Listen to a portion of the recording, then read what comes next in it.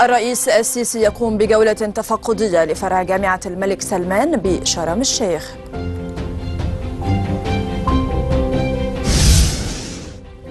الرئيس السيسي يقوم بجولة تفقدية بالدراجة فجر اليوم بمدينة شرم الشيخ.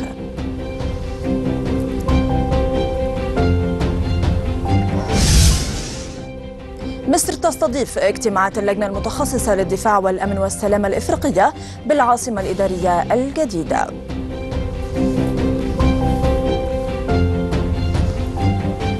الخامسة بتوقيت القاهرة. موجز الأخبار من تلفزيون النهار. أهلا بكم.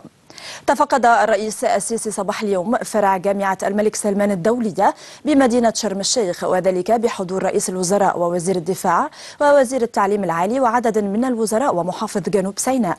واطلع سيادته على مجمل منشآت فرع الجامعة الواقع على مساحة حوالي 35 فدان وتضم أربع كليات وهي الألسن واللغات التطبيقية السياحة والضيافة العمارة والفنون والتصميم. جدير بالذكر أن جامعة الملك سلمان الدولية بدأت عملية إنشاؤها في يوليو 2017 ومن المقرر أن تنتهي في مارس 2020 وهي موزعة على ثلاث فروع في محافظة جنوب سيناء بمدن الطور وشرم الشيخ ورأس سدر ومن المقرر إضافة خمس كليات أخرى للجامعة في مرحلة مستقبلية بما فيها كلية الطب البشري ومستشفى جامعي بفرع الجامعة الرئيسي بمدينة الطور.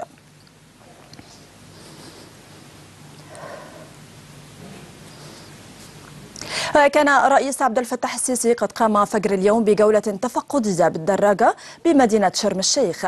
وصرح بذلك السفير بسام راضي المتحدث باسم رئاسة الجمهورية.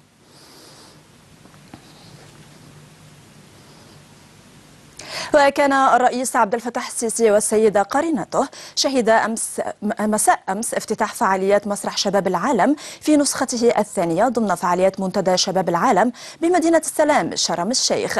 وبدأت فعاليات مسرح شباب العالم بمسرحية المحاكمة والتي يشرف عليها المخرج خالد جلال حيث تناقش قضايا إنسانية وتعرض في إطار فني متفرد عن الصراعات التي تواجه البشرية.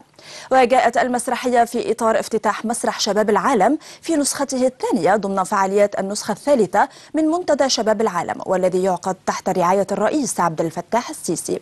يقام مسرح شباب العالم للعام الثاني على التوالي ضمن فعاليات منتدى شباب العالم ليكون محورا يجمع بين مختلف الفنون والثقافات لاستعراض مواهبهم وإبداعاتهم أمام شباب العالم. ويأتي ذلك تنفيذا لتوصيات الرئيس السيسي خلال النسخة الأولى من المنتدى عام 2017 بإقامة ورشة من الشباب تناقش القضايا المختلفة من خلال إطار فني هادف.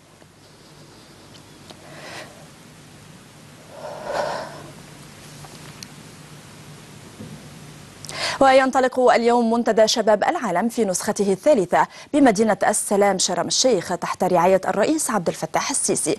ويستمر المنتدى حتى السابع عشر من الشهر الجاري وسيناقش المنتدى العديد من القضايا المستقبلية والتي تثير اهتمام الشباب في مختلف أنحاء العالم خاصة ما يتعلق فيها بتداعيات التغير المناخي على نوعية الحياة على كوكب الأرض والتحديات المصاحبة للتطورات التكنولوجية المتسارعة. المسبوقة والتي تثير القلق من إمكانية فقدان الوظائف ويضم المنتدى هذا العام نحو 40 من الشركات التي تعمل في مجال ريادة الأعمال والتكنولوجيا الحديثة. وستعرض أعمالها طوال فترة المنتدى. ولأول مرة سيتم دعوة مجموعة من المستشارين المتخصصين في مجال ريادة الأعمال لعقد جلسات فردية مع الشباب من رواد الأعمال.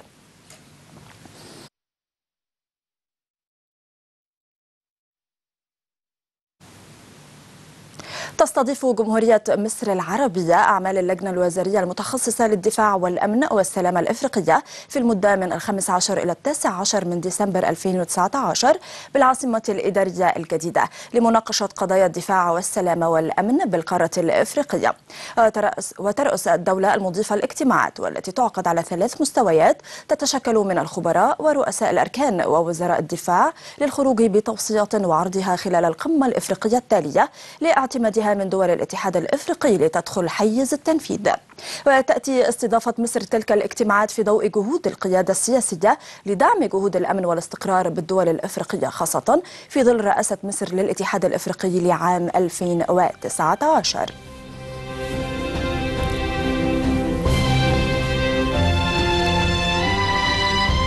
ختام موجز الأخبار من تلفزيون النهار. شكرا للمتابعة وإلى اللقاء.